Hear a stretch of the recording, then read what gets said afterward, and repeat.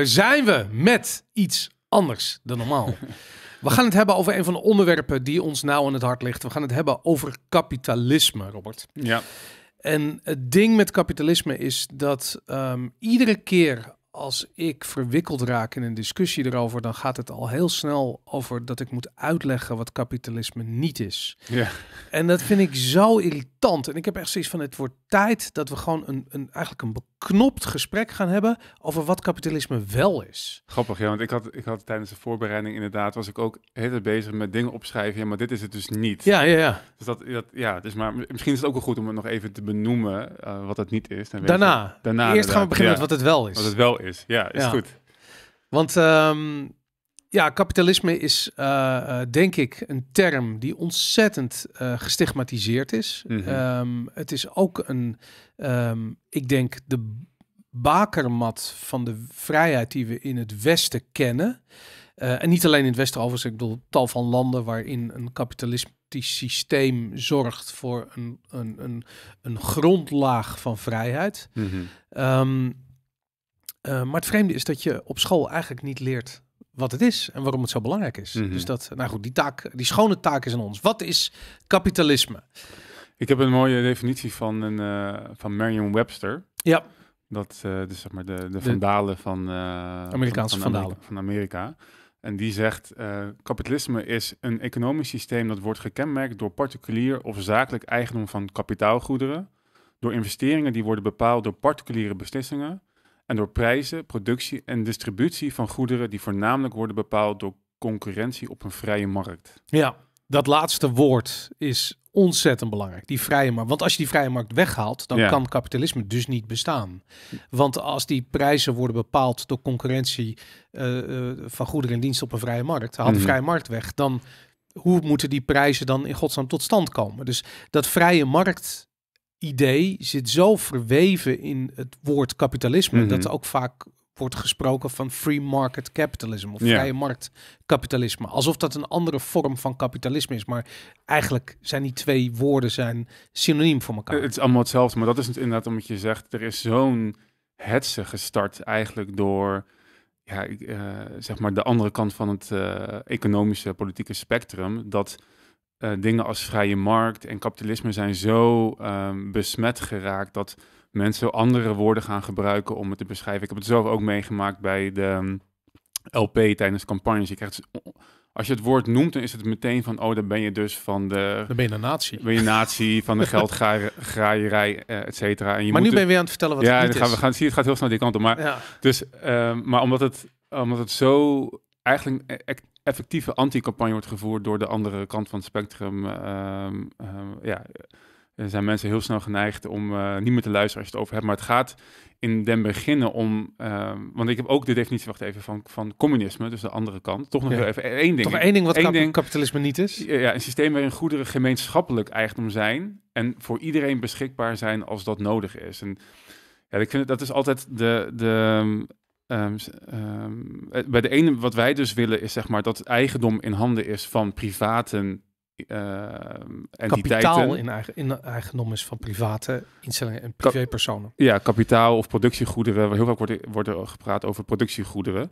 Eh, iets waarmee je geld kan genereren, geld kan, kan maken of een eh, eh, bedrijvigheid kan, kan, kan starten, kan hebben. Zeg maar, dus dan moet je investeringen voor doen in, in kapitaal, in bepaalde goederen of, eh, of geld. En dat is dus in eigendom van bedrijven en personen en niet van, zij zeggen dan... eh, Collectieve. het collectief, maar het collectief betekent altijd wie, wie vertegenwoordigt het collectief. Dat is de staat, dat is Ja. de overheid. Oké, Dus- maar nog even niet over wat het niet is. We ja, het even het over wat het wel is.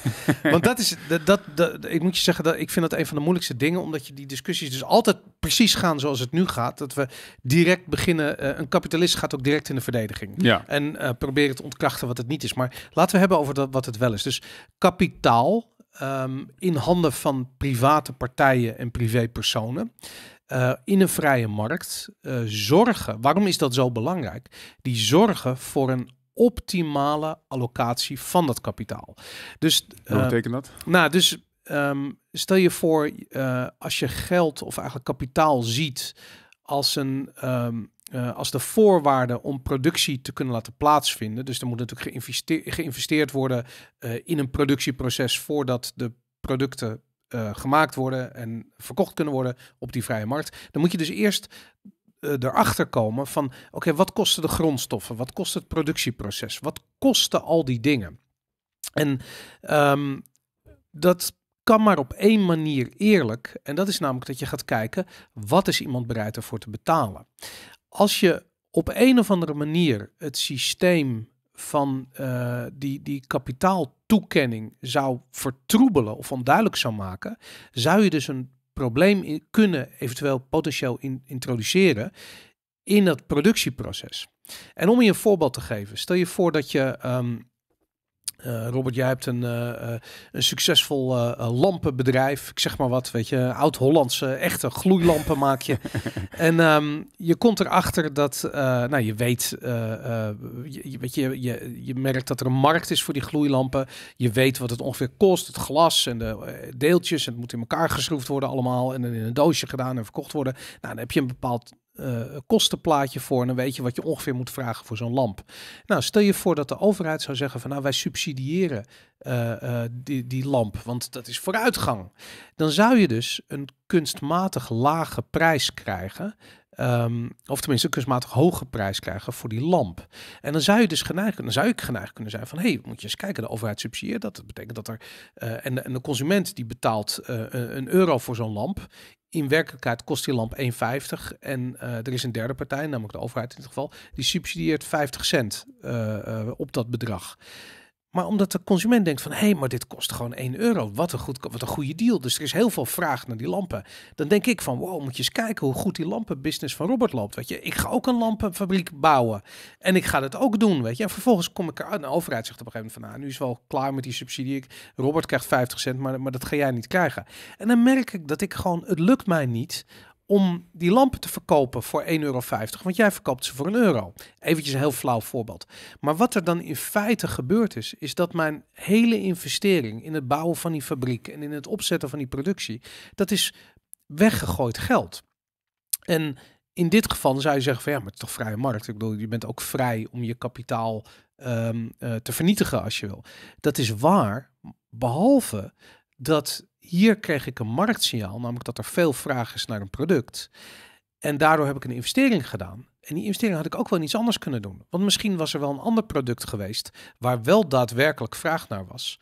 Um, wat ik had kunnen maken, wat de mm -hmm. samenleving daadwerkelijk beter had gemaakt. Ja, precies. Want ik wil, ik wil nog even teruggaan, want dat is denk ik even, als je toch praat over de basis van een vrije markt is, is, is een wereld waarin mensen inderdaad bedrijven kunnen starten om hun leefomgeving te verbeteren. De mens is uh, um, ja, een soort van ingesteld om zijn, zijn, zijn eigen leefwereld en dat van anderen om zich heen te willen verbeteren. Ja. En dat is de incentive die mensen hebben om bedrijven te starten. Ja.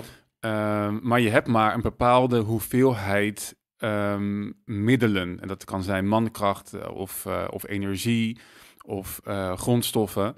En de vraag is, hoe bepaal je welke um, uh, leefomgeving verbeterende activiteiten die investeringen moeten krijgen? En in een vrije markt, dan is dat, uh, zoals je zegt, dan kom je daarachter doordat er een bepaalde vraag is vanuit de, de, de markt. En dan die, die, die vraag is zuiver, want er is geen, je gaat vanuit dat er geen interferentie is van, van nou, in dit geval bijvoorbeeld de overheid.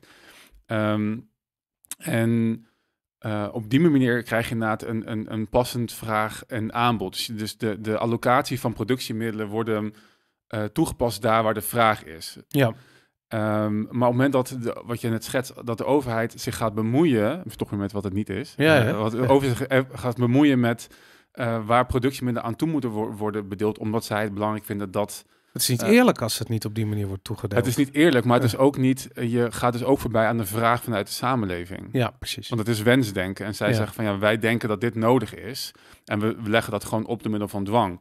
En in een vrije markt dan. Um, uh, dan, dan, kan je niet de vraag uh, afdwingen of je, je, moet gewoon iets leveren waar men behoefte aan heeft, wat men graag wil hebben. Ja. En dan uh, heb jij bestaansrecht. Nou, en je hebt nog iets anders en dat vind ik heel interessant. Als je kijkt naar wat een prijs van een goed precies is. Je hebt dat gezegde dat een prijs eigenlijk alle marktfactoren, of een uitdrukking is van alle marktfactoren. Dus wat er ook aan de hand is, al is er een hongersnood ergens in een bepaald land waar de goederen doorheen moeten, weet ik veel, dan de verhoogde kosten die dat met zich meebrengt, die komen tot uitdrukking in de prijs van dat specifieke product. En er is geen betere manier uh, om die uitdrukking in prijs perfect te laten zijn dan door de vrije markt zijn werk te laten doen. Dus op het moment dat je te maken hebt met een verstorend effect op die prijsontdekking, dan krijg je automatisch dat probleem van die verkeerde allocatie van kapitaal. Met alle gevolgen van dien. Met, het, met namelijk eh, als resultaat dat de samenleving er niet beter van wordt. Mhm. Dus dat uh, vrije markt kan alleen, vrije marktsysteem kan alleen maar werken als er pure prijsontdekking bestaat. Want dan krijg je namelijk het, het fantastische effect dat iedereen iets doet om er zelf beter van te worden en daarmee de samenleving beter maakt. En dat is een, dat is een fantastisch vliegwiel-effect. Want als het goed gaat met iedereen, het gaat goed met de samenleving, dan gaat het goed met iedereen en dan gaat het nog beter met de samenleving. En daardoor krijg je dus welvaart. Dus vrije markt creëert welvaart. Het tegenovergestelde van vrije markt, noem het wat je wil, breekt welvaart af. Mhm. En dat is, dat is wat kapitalisme is. Voor mij in ieder geval in een, in een notendop. Mhm.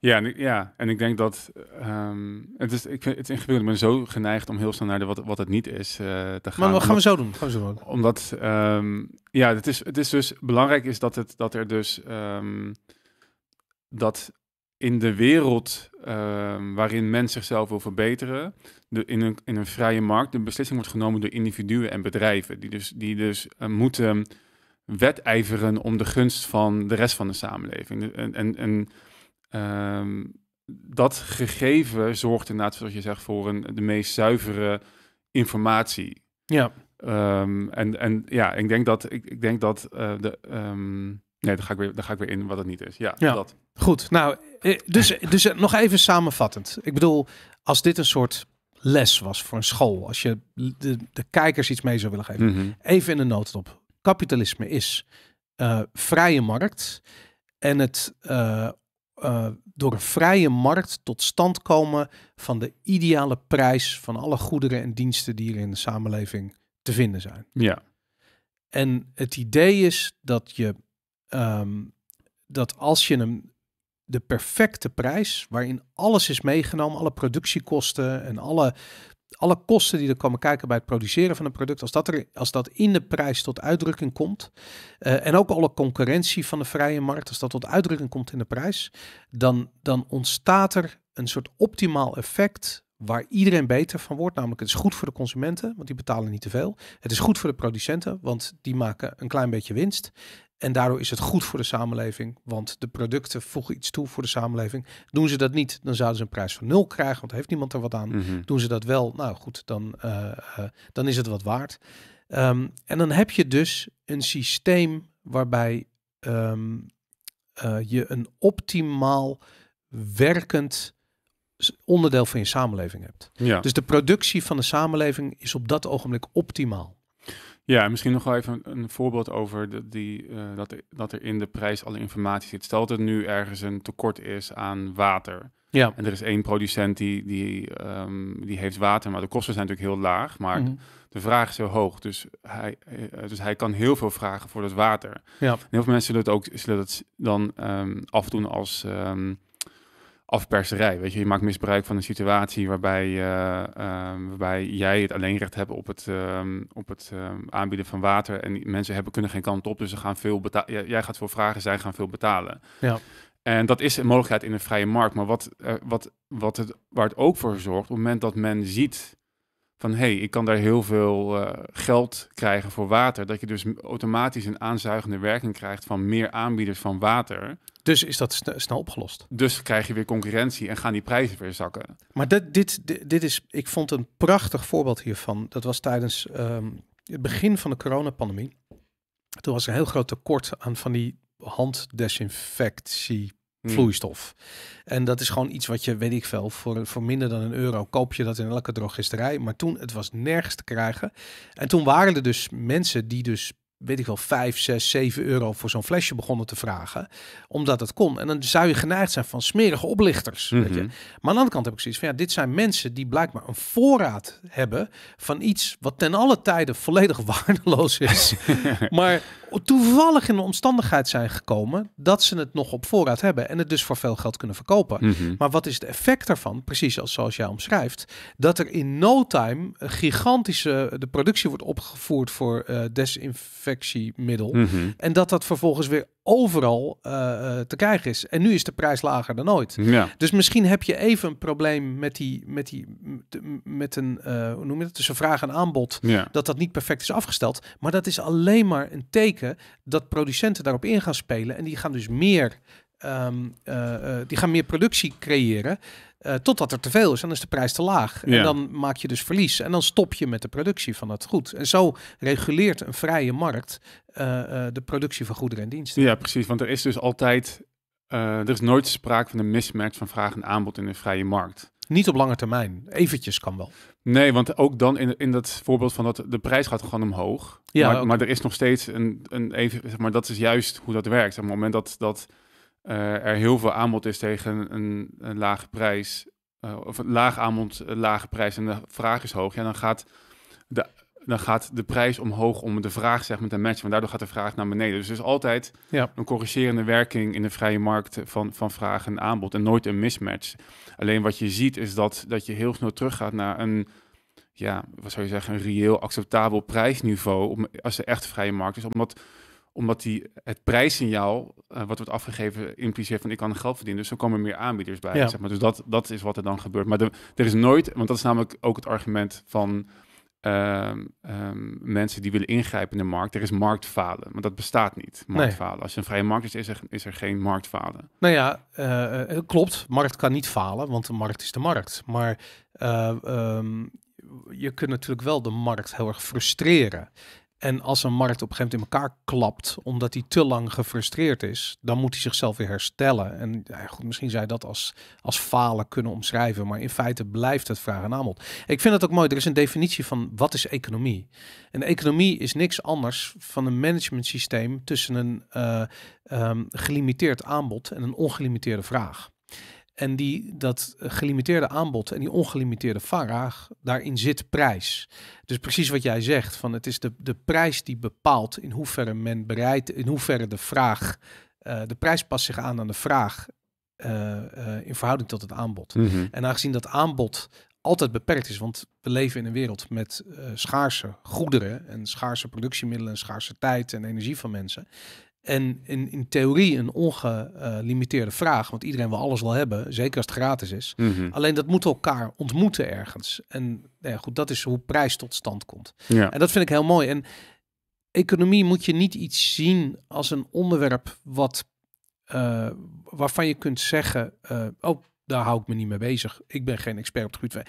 Iedereen is een econoom. Mhm. Iedereen is de hele dag bezig met het doen van aankopen, misschien het verkopen van iets, eh, met het zoeken naar de juiste prijs-kwaliteitverhouding ten opzichte van het aanbod. Eh, mensen zijn daar non-stop mee bezig. Economie is echt de manier waarop wij mensen met elkaar samenleven. Het, is- het is alles. Ja, de- volgens mij de definitie die ik ooit heb geleerd van economie is de leer van de keuzes. Oké, Dus is ook hoe, mooi. Ja. Dus hoe maken mensen keuzes? En bij elke keuze is bijna een. Nou ja, het, is, het gaat elke keer om een soort van economische keuze. Want je, je beslist waar besteed ik mijn tijd liever aan, aan X of aan Y? Waar besteed ik mijn geld liever aan, aan dit of dat? Waar, waar- nou, dat zijn allemaal economische keuzes. Inderdaad, iedereen is een econoom. Want iedereen is tijd bezig met het maken van keuzes. En een vrije markt stelt dus dat die, keuze, dat die keuzes het, het beste tot uiting komen. Omdat je dus inderdaad alle onge, eh, eh, hoe zeg je dat? Onge, onbesmette informatie tot je beschikking hebt. Ja, precies. Goed. Dat is wat vrije markt slash kapitalisme is. Nu gaan we het heel eventjes hebben over wat het niet is. Ehm, het eerste wat bij je opkomt? het eerste wat bij me opkomt is hoe komt het dan dat grote bedrijven Ja. alles naar zich toe trekken Ja, ja. en zo hebzuchtig zijn? Eh, dat kan toch niet goed zijn? Dat is toch een uitwas van het kapitalisme, Robert? Ja, dat is dan ook corporatisme, inderdaad. Dat is, zeg maar, dat zo zou ik het samenvatten. Dat is vaak het argument van grote bedrijven die heel veel geld verdienen en mensen uitbuiten. En ja, daar kan je ook weer zoveel over zeggen. Eén is, de vraag is, is er sprake van een echte vrije markt? Ik denk dat heel veel van die conglomeraten, van die grote uh, multinationals vaak zo groot zijn geworden doordat ze juist bepaalde kaders en regels en wetten hebben ingesteld door lobbyen bij, bij overheid die in hun voordeel werken. Die vaak ook heel mooi lijken uh, en heel nobel. Ik, het mooiste voorbeeld van dit jaar nog was dat Amazon aan het uh, lobbyen was voor een hoger minimumloon. Ja. En dan zie je een maand daarvoor zie je van Amazon gebruikt allemaal, allemaal drones in hun warehousing, weet je wel. Dus zij zijn alle menselijk kapitaal uit een bedrijf aan het zetten. Dat kunnen ze doen doordat ze veel geld hebben en kunnen investeren in dat soort automatisering. Maar dat MKB, dat kan dat niet doen. En die gaat dus lijden onder een te hoge prijs voor arbeid. Ja. En dus de vraag is, kunnen die grote corporaties die mensen uitbuiten, kan dat bestaan zonder de gratie van de staat? En twee is, als er sprake is van een vrijwillige overeenkomst tussen bedrijf en koper of bedrijf en werknemer, is er dan sprake van uitbuiting? Nou ja, goed, dat is dat, is dat minimumloonverhaal. Maar ik vraag me ook af, kijk je even een voorbeeld geven. We hebben in Nederland behoorlijk wat internationale hoofdkantoren zitten van hele grote corporaties. Weet je, mhm. Starbucks zit in Nederland, IKEA zit in Nederland, Booking.com, uh, Apple, Booking.com. Uh, waarom zitten die bedrijven hier? Omdat de Nederlandse Belastingdienst het mogelijk maakte. Die had een kantoortje voor dat soort bedrijven. Konden ze binnenlopen en dan konden ze een deal sluiten met de Belastingdienst. En zeggen van nou, uh, we hebben ons bedrijf op deze manier ingericht en daarom kunnen we ons hoofdkantoor hier, maar dan willen we wel een goede deal voor de inkomstenbelasting en de eh, VPB. En dat mag allemaal niet, uh, of dat is de vennootschapsbelasting, dat moet allemaal, mag allemaal niet te veel zijn. weet ik. De Belastingdienst ging daar mee. En die sloot daar deals over met die grote partijen. Maar het interessante is wat je dan krijgt. Starbucks, wat inmiddels, to, toen Starbucks dat deed, waren ze nog niet eens actief in Nederland. Hadden ze wel een van een groot distributiecentrum gebouwd. Maar toen waren ze niet actief, nu inmiddels wel. En wat je dus krijgt, is dat als jij als kleine ondernemer moet concurreren met Starbucks maar jij als kleine ondernemer, jij betaalt gewoon je BTW, je loonbelasting, je vennootschapsbelasting. Je betaalt het volle map. Maar Starbucks heeft een, uh, kant, heeft een tafeltje bij de Belastingdienst, een deur bij de Belastingdienst waar ze naar binnen kunnen lopen. En die kunnen gewoon een betere deal onderhandelen. Mhm. Dat betekent dat je nooit, never niet als kleine ondernemer kunt concurreren met Starbucks. Mhm. nou, en dat geldt niet alleen voor Starbucks, dat geldt voor alle grote corporations. En dat is waarom dat woord corporatie, of corporatie, corporatie volgens mij, mm uh, waar dat vandaan komt, is dat die bedrijven kunnen alleen maar zo groot worden vanwege de voordeeltjes die ze weten te halen uit het feit dat ze regeltjes naar hun hand kunnen zetten. Ja, en dat is dus ook precies de, het scenario van de afgelopen twee jaar natuurlijk. Want, dat, want de, de World Economic Forum is niks anders dan een lobbyclub voor heel veel grote multinationals, waaronder farmaceutische industrie. Ja.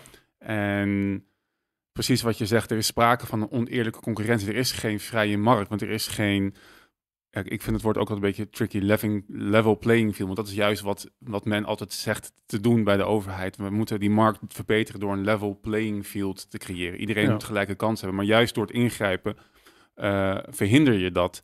En ik denk dat het MKB veel effectiever zou kunnen concurreren als ze naar dezelfde um, voorwaarden zouden krijgen als die grote multinationals. Ja. Maar dan, dan hoor je vaak mensen zeggen van ja, maar zij hebben zoveel geld, daar kun je als kleine ondernemer toch niet mee concurreren. Dus even los van hoe het ontstaan is, weet je, mhm. ik bedoel, grote bedrijven die, die, die, die weten de regels naar hun hand te zetten en profiteren daarvan op een manier dat ze onevenredig veel geld uh, verdienen mhm. en daarmee de concurrentie kunnen uitschakelen. Maar wat als jij als kleine ondernemer nu toch zegt van nou, je hebt gewoon een beter product dan Starbucks, dus je kunt overeind blijven. Um, maar Starbucks is een gigantische uh, financiële moloch. Mhm. Ehm, hoe kan op het moment dat het overheidsingrijpen stopt, hoe ga je dan toch voor elkaar krijgen dat je weer een level playing field krijgt?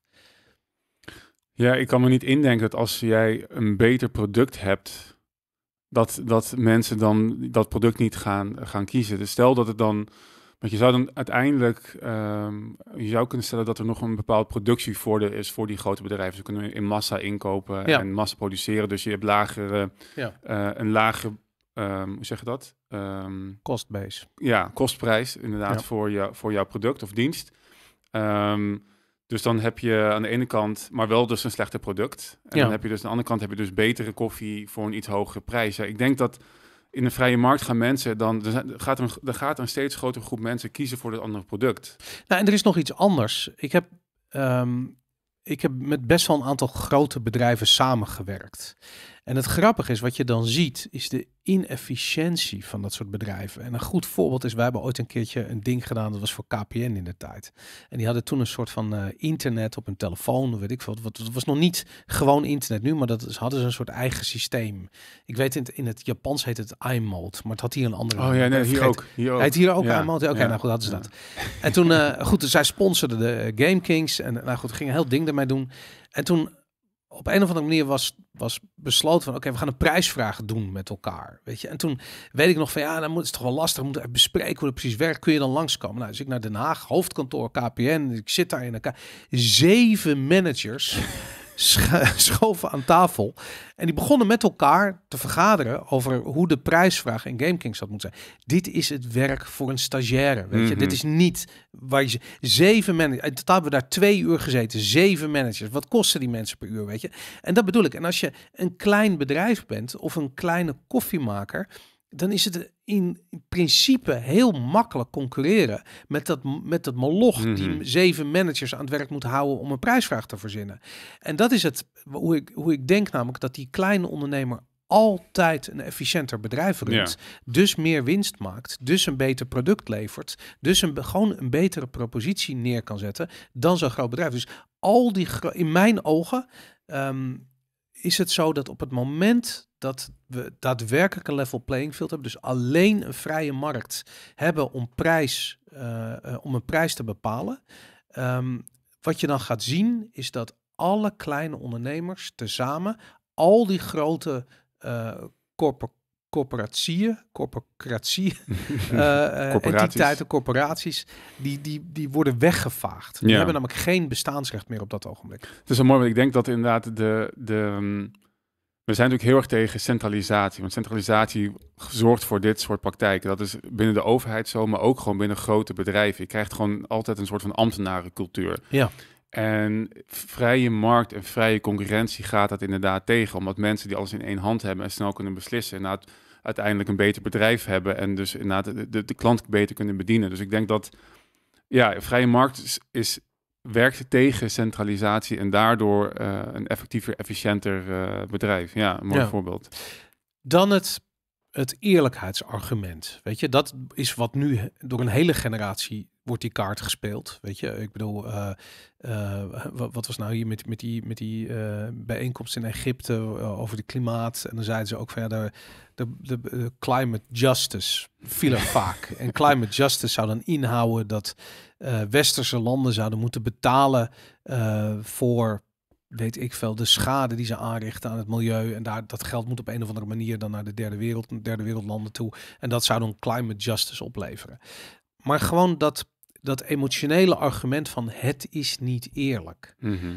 Ehm, wat zou je daar tegen? Maar wat is niet eerlijk? Dus de, het, De, de verdeling van bepaalde goederen en diensten, de verdeling van geld. eh, Ja, de- ja. Er is natuurlijk heel veel wat niet eerlijk is in deze samenleving. nee, maar dat is, dat is niet, denk ik, door de vrije markt. Ik bedoel, wat ik heel erg oneerlijk vind, is dat jij een bepaalde effort steekt in iets en daar niet voor betaald krijgt. Ja, Want nu kan je, nu is het zo dat jij ehm, ehm, dat mensen heel veel betaald krijgen voor dingen die eigenlijk niet zoveel waard zijn, of andersom. ja, En in een vrije markt is het zo ehm, dat je gewoon betaald krijgt naar, dat, naar datgene wat jij bijdraagt. En dat vinden mensen inderdaad oneerlijk, omdat er mensen kunnen zijn die dat niet willen of kunnen of zo. Maar dat, ja, dat, daar moet je dan iets voor bedenken. Maar ik vind het nog oneerlijk dat iemand die wel heel veel bijdraagt, daar niet, niet voor gecompenseerd gaat, eh, gaat worden. Ik vind het mooiste voorbeeld hiervan is altijd dat de vergelijking van de gender pay gap tussen mannen en vrouwen. Het is, Hm. Terwijl als je dat naar dat cijfer kijkt, zelfs het CBS zegt het nu zelf, dat verschil zit hem in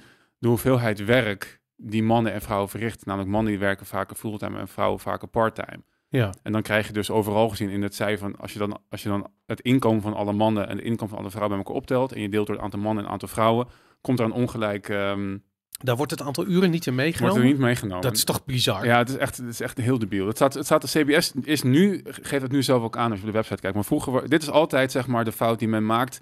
Ze kijken niet naar de effort die ergens wordt ingestoken. Hetzelfde, ehm, Thomas Sowell die, die geeft ook altijd aan van, eh, als je echt goed gaat vergelijken, dan neem je dus ook opleidingsniveau mee. Ja. Neem je ehm, het, de werkervaring mee, zeg maar, hoe, Ja. hoe- en dat soort zaken. Dat bepaalt namelijk allemaal hoeveel jij betaald krijgt.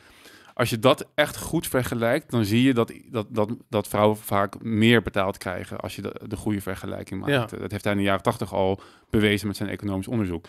Maar dit is, dit is de eerlijkheid die ik voor ogen heb. Als jij krijgt betaald voor datgene wat je ook echt bijdraagt aan de tafel. Ja. En in een vrije markt dan ehm, ehm, is dat veel eerder het geval dan, dan eh, zeg maar als er steeds meer overheidsinmenging is. Ja, en als jij een product maakt waar geen vraag naar is, wat niet veel bijdraagt aan de samenleving, waarom zou je dan heel veel betaald moeten krijgen? Wat, wat is daar? Omdat het eerlijk is. Ja, dat- ja, omdat het eerlijk is, ja.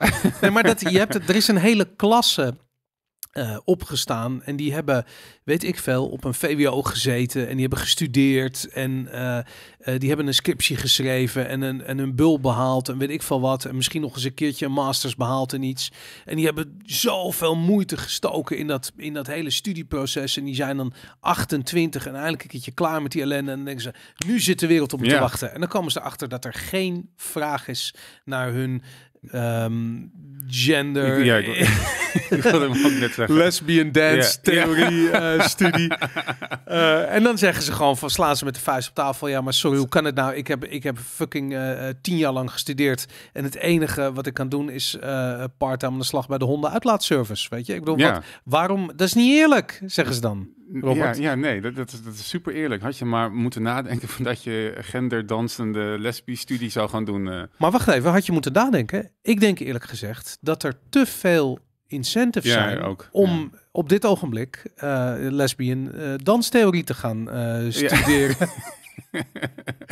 en de markt, de vrije markt, heeft daar, komt er helemaal niet bij kijken. Nee, precies. Dus, er is allerlei andere onzin die erop wordt, op je bord wordt geschept, waardoor mensen dat gaan studeren inderdaad. Ja, dat is dus ook inderdaad de, de, het, de hele bekostiging van het onderwijs en de bemoeiing, bemoeienis van de overheid. En daar is ook geen vrije markt. Dat zou ook inderdaad een vrije markt moeten zijn. Dan ga je inderdaad niet de keuze maken om zo'n studie te doen. Ik zie het ook voor zo'n klas vol.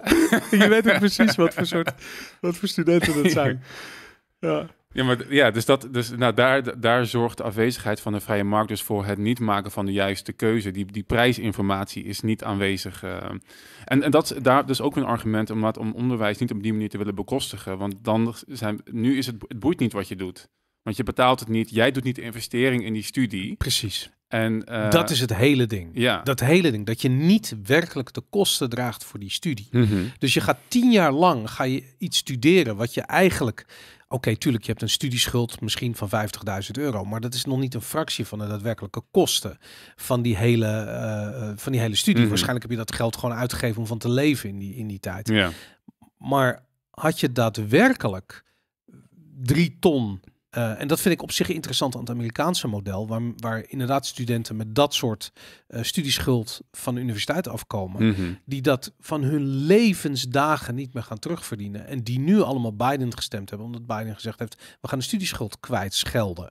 Wat natuurlijk koren op de molen is van iedereen die zo'n pretstudie heeft gevolgd tien jaar Mhm. lang. Terwijl ze eigenlijk gewoon loodgieter hadden moeten worden. Of dakdekker. Of Mhm. eh, we- weet ik veel iets. En daadwerkelijk iets produceren wat iets toevoegt aan deze samenleving. Mhm. Want dat vind ik helemaal het kromme. We zijn in ver- inmiddels zo ver uit elkaar gegroeid. Dus de realiteit is zo ver wegkomen te liggen van, van waar wij in deze maatschappij zijn. Is dat we die daadwerkelijk producerende klasse moeten importeren uit andere landen. Mhm. Omdat hier in Nederland gewoon eh, een merendeel van de jongeren een of andere onzinstudie volgt. eh, thuis gaat zitten met een uitkering of met een baan die totaal niet aansluit bij wat ze ooit geleerd hebben. Maar goed, dan zijn ze in ieder geval iets aan het produceren. Maar waarschijnlijk een soort subsidiebaan. En ehm, ja, dan gaan we maar eh, de, de, de hoe noem je dat? De bouwvakkers en al die komen uit Polen en uit Mhm. Oekraïne. God weet waar allemaal vandaan. Ehm, ja, en dan op dat ogenblik ben je natuurlijk als samenleving ben je heel ver van de realiteit weggedreven. Dus je zou kunnen zeggen, vrije marktkapitalisme is ook een manier om een samenleving dicht bij de realiteit, Ja. dus dicht bij de ware kosten, dus dicht bij de realiteit te houden. Ja. ja, en ik denk dat ook als je, ehm, want het grappige, nou, dat, dat is ook weer een ander aspect. Dat arbeid halen uit andere landen heeft ook weer te maken met een bepaalde kostendruk. Zeg maar, je, je hebt, het heet, ehm, je hebt administratieve lasten en bestuurlijke lasten, zeg maar lasten die voortkomen uit wetgeving. Ja. Bijvoorbeeld um, autorijden. Daar heb je een aantal administratieve lasten. Namelijk, jij bent verplicht om een rijbewijs te gaan halen en te gaan lessen. Dus je bent al een paar duizend euro kwijt voordat je überhaupt kan gaan rijden. Dat is, dat is even los van wat je van vindt van dat soort dingen betreft veiligheid. Het is een inmenging in de vrije markt, waardoor jij dus pas kan gerijden als je een paar duizend euro hebt geïnvesteerd. En dat heb je in Nederland. Nederland is er echt koning in, in dat soort regelgeving. Los van de mm. belasting die je dus gewoon betaalt als je al geld verdient. Dat maakt de productie van dingen in eigen land heel erg duur. Waardoor je, uh, want arbeid wordt duur, maar ook, maar ook gewoon grondstoffen worden duur. Want er komt er zijn allemaal toeslagen en regelgeving je moet heel veel mensen aan uh, inhuren om uh, te voldoen aan allerlei wetgeving, of in ieder geval de wetgeving ook überhaupt te snappen. Ja. En dat maakt het dus heel erg duur om hier dingen te produceren. En daardoor gaan we weer het uit, het eigen, het, het andere landen halen. Ja. En als je, daar, als je dat dus. Maar dat is toch ook vrije markt? Wat is vrij? Ja, als, je, als het uiteindelijk blijkt dat.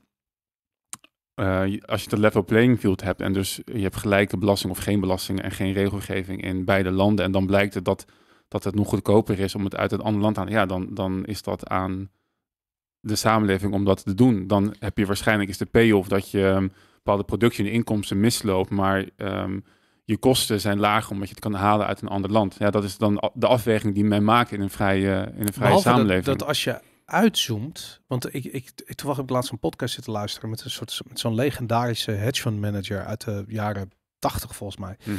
En die zei, die pleitte heel erg voor, um, um, uh, hoe noem je het, importtarieven en dat soort dingen, weet je. Dus uh, uh, het, het, afschermen van je, van je lokale markt. En hij zei, uh, en toen werd er ook gezegd van ja, maar dat gaat tegen het vrije marktprincipe in. En toen zei hij van nee, maar dit is geen vrije markt.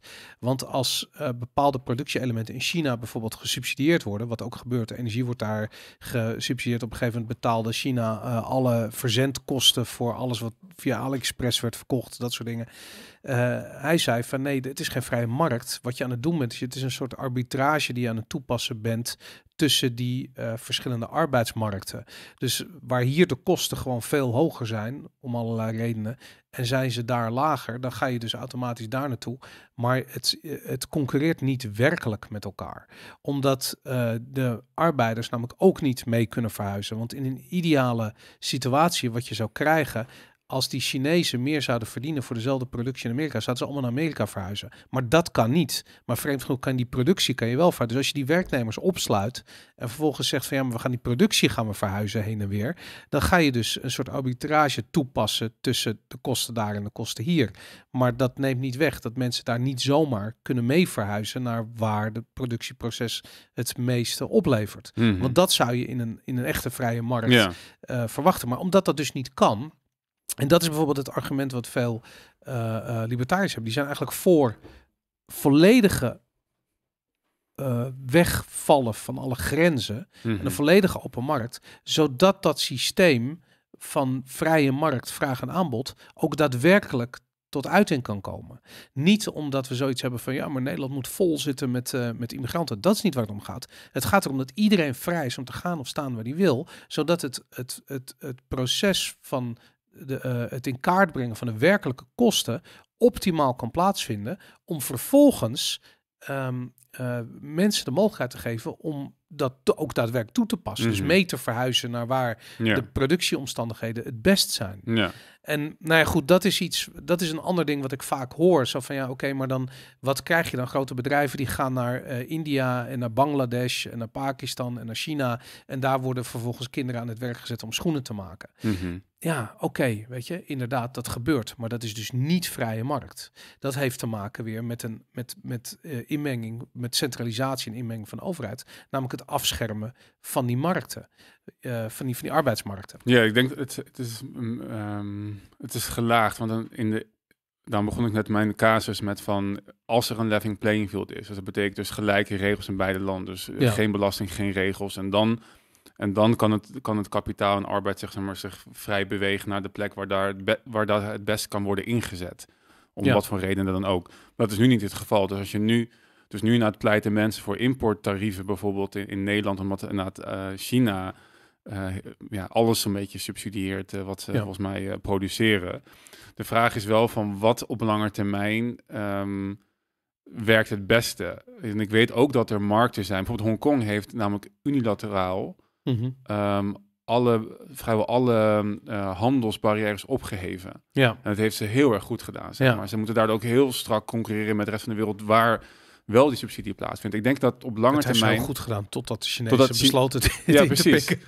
Maar, ja, omdat maar- het zo goed ging. omdat het zo goed ging. Ja, dus Ja. Zelfs, zelfs zonder ehm, zeg maar staatshulp Mhm. hadden ze gewoon echt een booming economie. En ik denk dat dat namelijk op lange termijn ook zo is. Dat zelfs, het zie je nu al, weet je, economisch van China, eh, die, die munt gaat, ze gaan het niet houden, zeg maar. Want Nee. dat, dat, dat misallocatie van, van goederen en het, het subsidiëren van dingen, dat is maar voor een bepe- beperkte tijd houdbaar. Goed, je kan het heel lang rekken. ehm, Het heeft met geldcreatie hangt het samen. en dat hangt heel erg daarmee samen, Ja. dat is het laatste ding eigenlijk. Dat, eh, dat is niet iets wat ik vaak hoor, maar dat is eh, eigenlijk het argument waar altijd aan voorbij wordt gegaan. Eh, veel van die overheidsinmenging, of eigenlijk die centralis- gecentraliseerde inmenging, die wordt betaald vanuit geldcreatie. Mhm. Dus wij kunnen zeggen eh, met elkaar van oké, jij verkoopt een product voor een bepaalde prijs en ik wil hem hebben voor een bepaald prijs. En we zoeken eh, daarin, we- we stemmen dat helemaal met elkaar af. En vervolgens hebben we een bepaalde prijs. Die prijs is gebaseerd op een munteenheid. Die wordt uitgegeven door een derde partij. En de Mhm. derde partij kan de koopkracht van die munteenheid bepalen. Dus de afspraak die we vandaag maken, eh, stel je voor dat we die voor vijf jaar vastleggen, blijkt dat jij over drie jaar helemaal niet meer kunt produceren voor die prijs.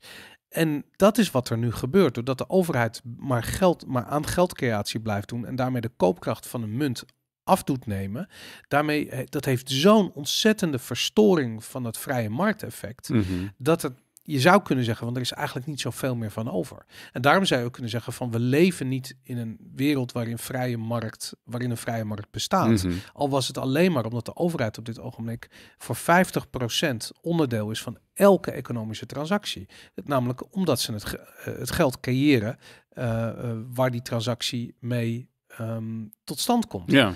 En dat is het grootste probleem op dit ogenblik. Dat door die geldcreatie ehm, ja, we geen vrije markt meer hebben. ja, en dat, want dat, Even los van alle andere overheids eh, Inmenging, ja. inmenging er nog meer plaatsvindt. En je hebt aan de ene kant dus inderdaad het verlies van, van de koper, maar er is inderdaad geen zuivere prijsinformatie meer, omdat die eh, waarde van het geld dat we hebben zo fluctueert en vooral heel erg afneemt door de overheidsinmenging, dat je, ja, en dat, en dat is zo, dat, het is zo essentieel, want inderdaad, geld is onderdeel van elke transactie. Ja. De economie bestaat uit een meervoud van transacties. En de overheid bepaalt dus op een bepaalde manier eh, de voorwaarden, randvoorwaarden van die transactie. Dus er is, we kennen geen vrije markt, niet zolang we inderdaad een, een, een, een, eh, een, een vrije munt hebben, zeg maar. Ja.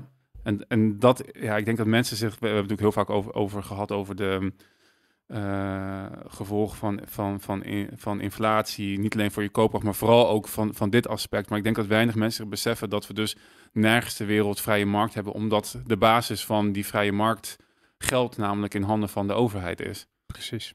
Goed, laten we daar deze speciale aflevering over de vraag wat is kapitalisme mee, eh, mee stoppen. Bedankt voor het kijken.